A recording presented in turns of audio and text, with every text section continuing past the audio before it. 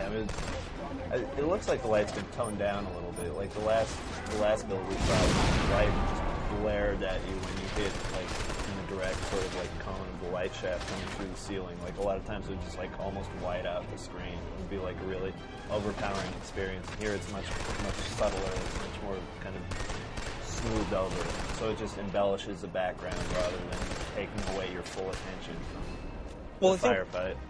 Uh, yeah, I, I can kind of see that. I think that part of it is that um, one of the things that that Guerrilla's been really working on is is kind of being actually true to to their statement of making sure that every light is a- is